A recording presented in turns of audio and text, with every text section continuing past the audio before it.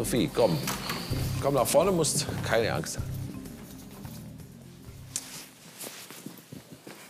Was du allerdings musst, ist die Wahrheit zu sagen. Das ist ganz, ganz wichtig. Klar, oder? Ja. Also heißt Sophie Rittmann, zwölf Jahre alt, du wohnst in München, du bist natürlich nicht verheiratet, bist Schülerin, verwandt oder verschwägert mit dem Herrn König bist du nicht. Nein, es ist der Vater von Dennis. Du sollst ja auch am 12. Geburtstag von Dennis äh, bei ihm zu Hause gewesen sein. Da habt ihr den Geburtstag von Dennis gefeiert. Ja, Stimmt ich das? war da gemeinsam mit meinem Freund Marcel. Wie verlief denn der Abend? Erzähl doch mal. Also wir saßen zuerst im Wohnzimmer und haben DVDs für den Abend ausgesucht. Und dann kam Dennis Vater aus der Küche und wollte uns zeigen, wie man richtig Partygetränke mixt. Er hat dann Wodka auf den Saft geschüttet und gesagt, wir können es ruhig trinken. Er hat uns dann allen ein Glas in die Hand gedrückt. Und ja, wir sind ja schon erwachsen, fast erwachsen und so. Und das wäre ja ganz okay. Hast du dann davon getrunken? Ein bisschen. Es war ja auch nicht schlecht oder so. Aber ich habe mir einfach nicht denken können, dass es echt erlaubt ist, weil erwachsen ist man ja eigentlich mit, erst mit 18 und wir sind erst 12 und 13. Und ich hätte echt lieber eine DVD geguckt und meinetwegen hätte ich auch Monopoly gespielt. Ja, das wäre mir auch lieber gewesen. Aber ihr musstet mich ja einsperren und habt den Wodka alleine Herr ausgetrunken. König, Sie sind jetzt mal still und gehen das Mädchen nicht so an. Da lege ich Wert drauf. Ist das klar? Bitte, Herr König. Aber du hörst ja, wie er sich aufregt. Ja? Deswegen frage ich jetzt schon einfach noch mal nach. Stimmt das auch wirklich so, was du uns hier sagst? Ja, klar. Das ist doch die Höhe. Entschuldigung, Ja? äh, könnte ich bitte kurz aufs Klo gehen? Ich muss Ja, klar, ganz geh dringend. Gut, danke schön. Gott, Kilian, reiß dich doch mal zusammen. Du hast das Problem, nicht die Kinder. Nein, eigentlich ist das Eileens Schuld. Die hat den Wodka mit ins Haus gebracht.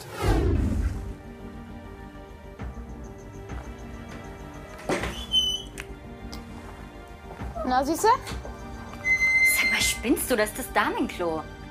Ich weiß, aber ich dachte, die sind mir ungestört. Was willst du? Ich dir sagen, dass gut da drin läuft. Dein Nächste wird es verurteilt, ja? Also will ich jetzt auch meinen Lohn. Komm, also zieh ich aus, ne? Ich glaube, du hast sie nicht mehr alle. Warum? Das war unser Deal. Und ich will's jetzt. Also entweder du ziehst dich jetzt aus oder ich gehe da rein und verrate alles. Du hast die Wahl. Du gehst jetzt mal ganz schnell zurück in den Saal. Und dort wartest du, bis das Urteil gesprochen wurde. Dann gibt's die Belohnung. Das war der Deal. Also verzieh dich. Los! Ah, okay. Okay.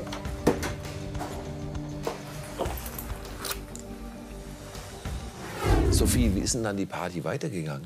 Keine Ahnung, ich habe dann behauptet, ich muss nach Hause, weil ich wollte nicht zugeben, dass mir der Wodka eigentlich gar nicht geschmeckt hat. Und ich wollte auch kein Spielverderber sein. Wie spät war es denn, als du nach Hause gegangen bist? So ungefähr zehn. Ich bin dann zu Fuß heimgegangen, weil ich wohne ja nicht weit. Hast denn du zu Hause erzählt, was das für eine seltsame Party war, was da vorgefallen hat? Nein, ich habe mich gleich ins Bett gelegt, weil ich, ich habe gedacht, wenn ich das erzähle, dann darf ich nie wieder auf eine Party gehen. Und ich habe mir echt nicht denken können, dass das wirklich erlaubt war. Vermutlich ist das auch der Grund, warum Sophie uns hier anlügt. Sie hat Angst vor einer Strafe, wenn herauskommt, dass Sie und Ihre beiden Freunde den Alkohol von sich aus getrunken haben. Herr Vorsitzender, könnten Sie bitte mal Sophie fragen, ob ich damit richtig liege? Ja, Sophie, du hast die Frage gehört, oder? Ich würde niemals freiwillig Alkohol trinken. Ich meine, Dennis Mutter hat mir mal erzählt, dass sein Vater total betrunken in einer Kneipe saß und sich ganz nackt ausgezogen hat. Einfach so. Ich will nicht, dass mir sowas mal passiert. Ja, da hast du sicherlich recht. Alkohol ist in jedem Fall mit Vorsicht zu genießen. Aber jetzt noch mal zu der Party. Hast du eigentlich dann mitbekommen, ob an dem Abend auch die Ex-Verlobte des Angeklagten, die Eileen Dreier, mal da war? Ja, die war kurz da. Sie haben sich auch gestritten. Er hat Schlampe zu ihr gesagt und dass er sie deswegen auch nicht heiraten will. Und dann ist sie auch schon wieder gegangen. Das sagst du vor den Kindern? Hast du auch mitbekommen, ob sie mal in der Küche war? Nein. Bitte fragen Sie doch mal die Zeugin, ob sie da wirklich ganz sicher ist. Bist du dir ganz sicher, dass sie nicht in der Küche war? Ja. Weiterfragen. Danke. Danke, dann war's das für dich. Du darfst Platz nehmen, bleibst unvereidigt. Danke. Die Zeugin Eileen Dreier, bitte.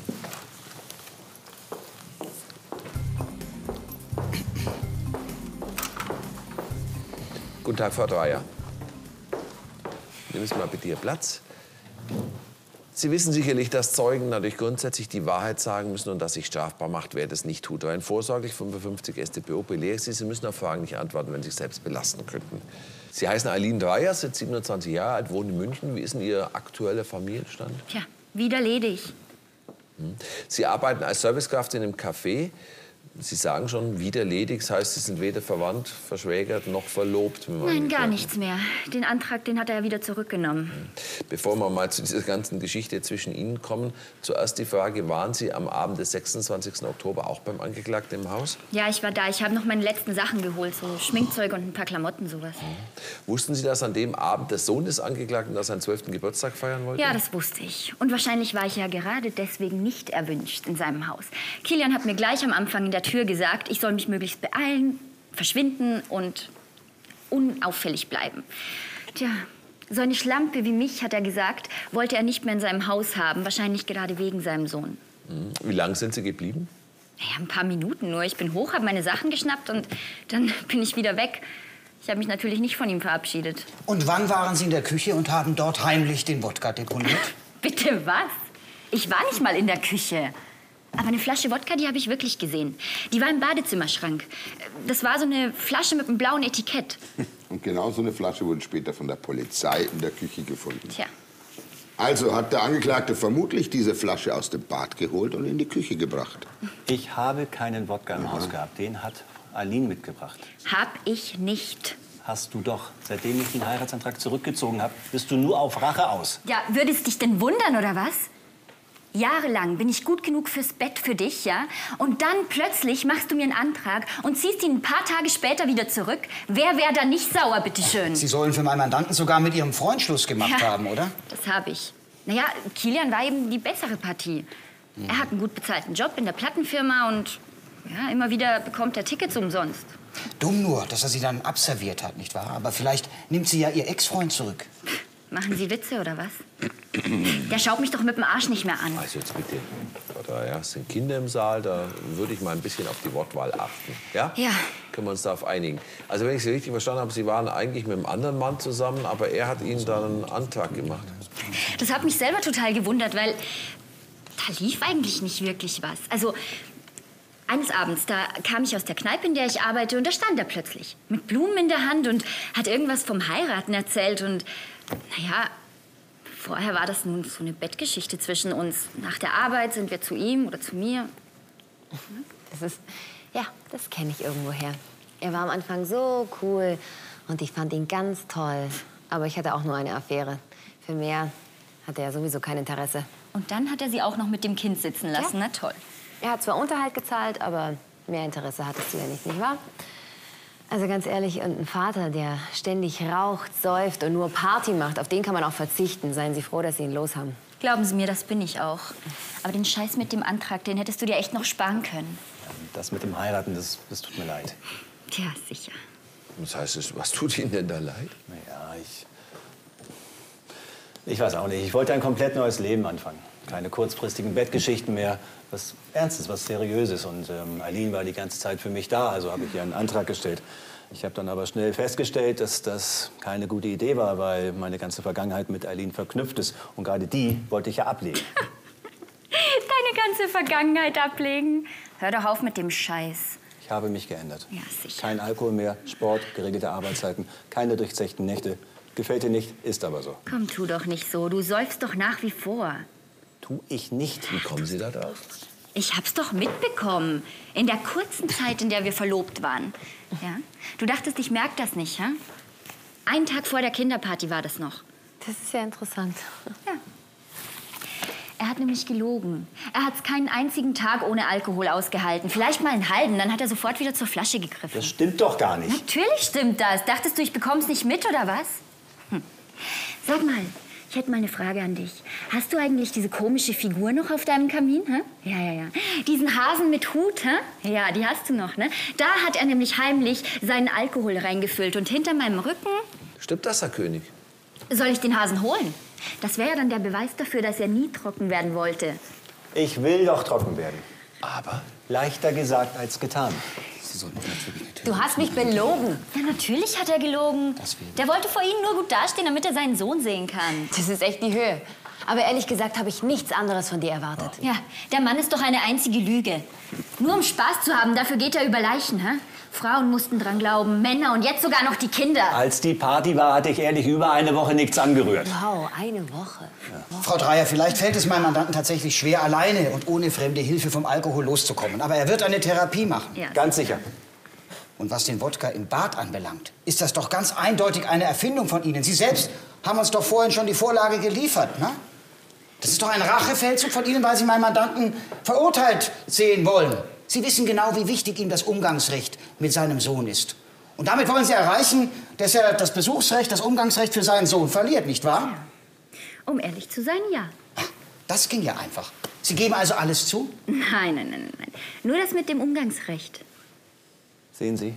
Sie gibt es auch noch zu. Sie gönnt mir das Glück mit Dennis nicht. Sie gönnt mir überhaupt nichts mehr. Entschuldigung, ein Vater, der seinem Sohn, seinem zwölfjährigen Sohn Alkohol gibt, dem muss doch das Recht entzogen werden, ihn zu sehen. Na, das gefällt dir, oder? Ja, aber ich werde drum kämpfen, ja? Ich liebe meinen Sohn. Ich werde um, ich werde drum kämpfen. Ja, das werden wir noch sehen. Gut, also sollten Sie heute wirklich verurteilt werden, dann muss ja erst noch mal von dem Familiengericht geprüft werden, wie das wirklich mit Ihrem Besuchsrecht dann aussieht. Hm? Ey, Mama, ich will den Papa aber wieder sehen. Dennis, hey, das, das ist nicht so leicht. Vielleicht kannst du ihn ein, zwei Monate jetzt nicht sehen. Und wenn, dann nicht alleine. Das ist ein ganz guter Ansatz, würde ich sagen. Ich will den Papa aber auch allein wiedersehen. Mit dir gemeinsam ist es nicht dasselbe. Nein. Dennis, vielleicht gehst du kurz mit Marcel und Sophie raus, wenn der Richter das Urteil spricht. Vielleicht ist es gar nachher. keine so schlechte Idee. Wir holen euch auch nachher nach dem Urteil wieder rein. Komm hier. Nein, ich will aber hier bleiben. Dennis, dann sag doch bitte die Wahrheit. Wenn das dir auch so wichtig ist für mich, dann sag bitte die Wahrheit. Dennis, du hast zwar die Aussage verweigert und deinen Vater nicht belastet. Damit hast du ihn aber auch nicht entlastet. Ist dir das klar? Sag mal, sag mal, spinnst du? Das macht er jetzt nicht mehr mit. Und ich spinne auch nicht. Mir ist 80D auch total egal. Was ist denn jetzt 80D? Also Moment mal, Moment, Moment, das klingt eigentlich gerade fast so, als hättet ihr alle drei da irgendwie eine Abmachung miteinander, oder wie? Nein, haben wir nicht. Jetzt komm, jetzt gehen wir raus.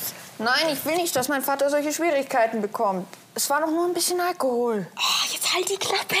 Ich will aber nicht mehr lügen. Du willst nicht mehr lügen. Heißt es, du hast gelogen?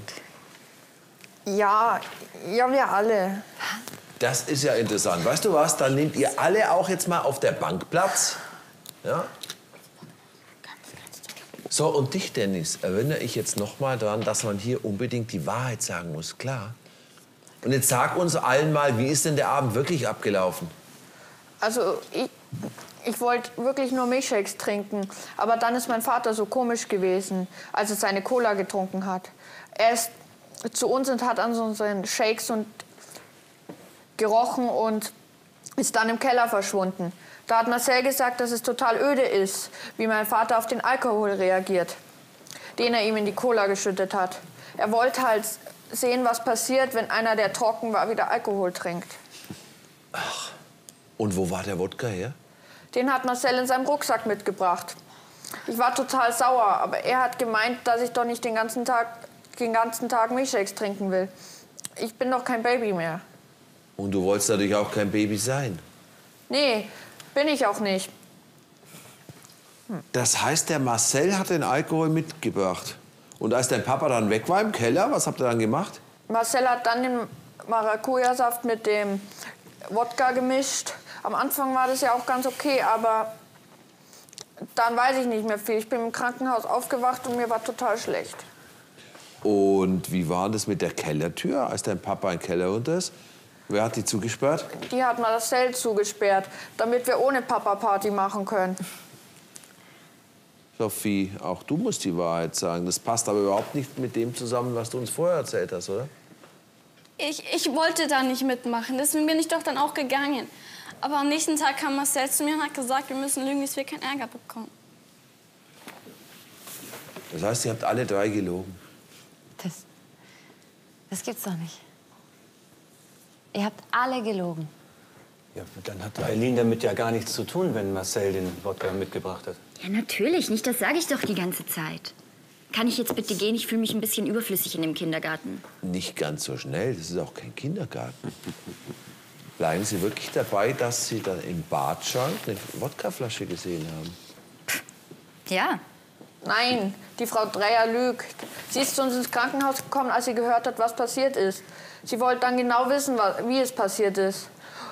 Und sie hat gesagt, dass wir lügen sollen, weil sie meinem Vater eins auswischen will. Und wolltest du, dass dein Vater ins Ausgewischt wird? Nein, natürlich nicht, aber sie hat gemeint, dass wir sowieso lügen müssen, weil wir sonst Ärger bekommen. Und sie hat ihre Rache. Aber Marcel hat zu mir gesagt, ich soll lügen, nicht Frau Dreier. Marcel hat dann halt was fürs Lügen gewollt und sie hat uns diesen Deal angeboten. Einen Deal? Was für einen Deal denn? Hä? Marcel, auch du weiterhin Wahrheit, bitte. Deal? Ja. Also, Was für ein Deal, Frau Dreier? Wovon reden die Jungs denn? Ich habe keinen blassen Schimmer. Also, ich schätze mal, dass dieser Deal mit diesen ominösen 80D zu tun hat, oder? Der Dennis ist doch vorhin die ganze Zeit vor sich hingemurmelt. Und jetzt ist es beiden Jungs offensichtlich ziemlich peinlich, oder? Stimmt das, Dennis? Ja, aber ich weiß eigentlich gar nicht genau, was das so ist. Aber Marcel hat's gewusst und ich wollte halt nicht wie ein Nullchecker dastehen. Marcel, weißt du, was es bedeutet? ja. 80D. Also, die Frau Dreier ist zu uns ins Krankenhaus gekommen und hat uns halt diesen Deal angeboten, dass wenn wir lügen und der Herr König verurteilt wird, Schon klar, aber wie genau hat der Deal ausgesehen?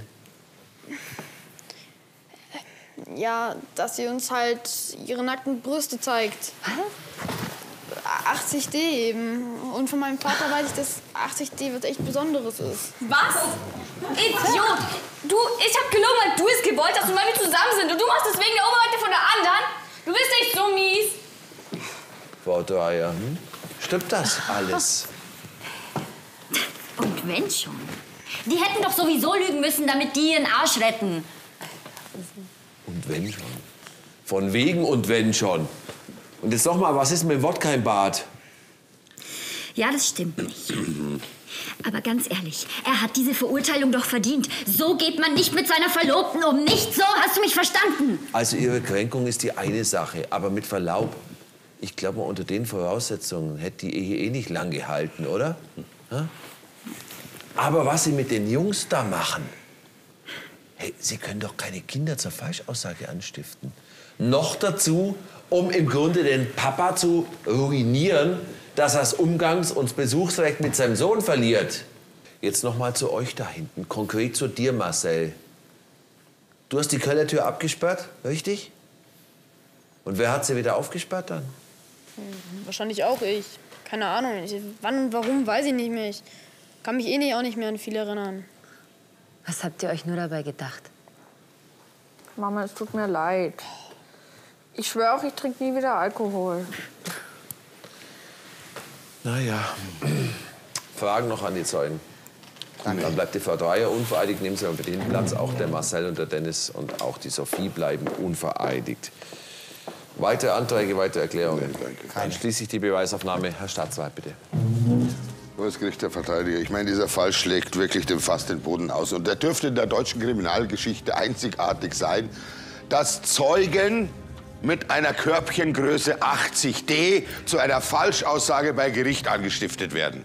Das muss man sich mal vorstellen. Frau Dreier, Sie werden sich das sehr oft vorhalten lassen müssen, gut vorstellen. Wie der Vorsitzende Richter äh, gesagt hat, das ist nicht nur eine Anstiftung zur Falschaussage. Sie wollten damit gezielt darauf hinwirken, dass der Angeklagte sogar sein Sorgerecht verliert. Und das wird sich in dem Ermittlungsverfahren gegen Sie bestimmt nicht straferleichternd auswirken. Der Angeklagte ist jedenfalls auf Kosten der Staatskasse freizusprechen. Danke, Herr Staatsanwalt, Herr Verteidiger. Bitte. Hohes Gericht, Herr Staatsanwalt, es ist wirklich das allerletzte, wie Sie hier, Frau Dreier, aus purer Rachelust Kinder angestiftet haben zu einer Falschaussage, um meinen Mandanten hier in die Pfanne zu hauen. Der Herr Staatsanwalt hat das ja auch schon ausgeführt. Jetzt wissen wir endlich, wie dieser Abend wirklich verlaufen ist. Und gestatten Sie mir ein Wort.